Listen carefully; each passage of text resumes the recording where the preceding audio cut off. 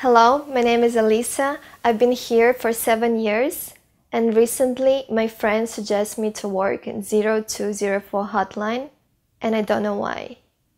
Well, sorry to tell you that 0204 hotline is closed. Okay. Like us on Facebook if you haven't, and don't forget to subscribe for more new videos. Seven years ago, when I first got here, one night my roommate asked me, Would I ever date an Asian guy? I say, No way, because I didn't think they were my type. As the time went by, I met more and more local guys. I started to have a different thought.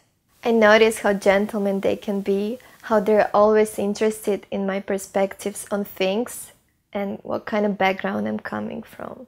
Feels like they want to know everything about me. I'm that special to them as a girl who doesn't want to be a significant someone.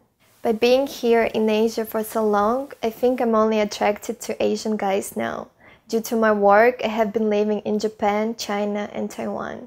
But I think I'm destined to be with a Taiwanese man because I've been in a relationship with two Taiwanese guys before, and they told me what happiness was meant to be. I was able to be the girlfriend who could make them happy in the way they needed me to. I'm a Pisces. When I'm in love, I will do anything for him. I will cook, I will massage, I will do his laundry. So 有的事情我都可以. I hate watching hero movies, especially Marvel, but if you want to watch it, I will go with him. Even that Wonder Woman. Uh, Wonder Woman is from DC. What is DC?